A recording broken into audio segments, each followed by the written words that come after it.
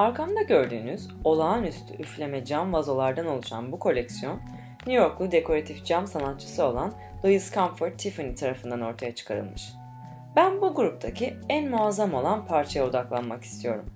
Merkezde duran 1930'lardan gelen mavi yanar dönerli camdan yapılmış parça. Bu parça modern materyallerin ve formların yoğun bir anlatımı olarak dikkat çekiyor. Bu orijinal adı favril olan özel parıltılı bir cam ve özelliği üflenmiş camdan gelen parıltıyı, doğallığı ve tesadüfi güzellikleri ortaya çıkarması. Formu yılan yastığı bitkisinden esinlenilmiş. Objeye her bakışımda beni korkutuyor. Formu o kadar narin, o kadar kırılgan ki.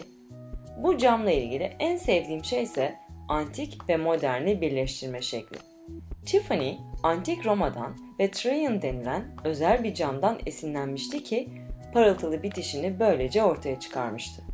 Aynı zamanda ürkütücü modern bir obje de yaratmak istiyordu.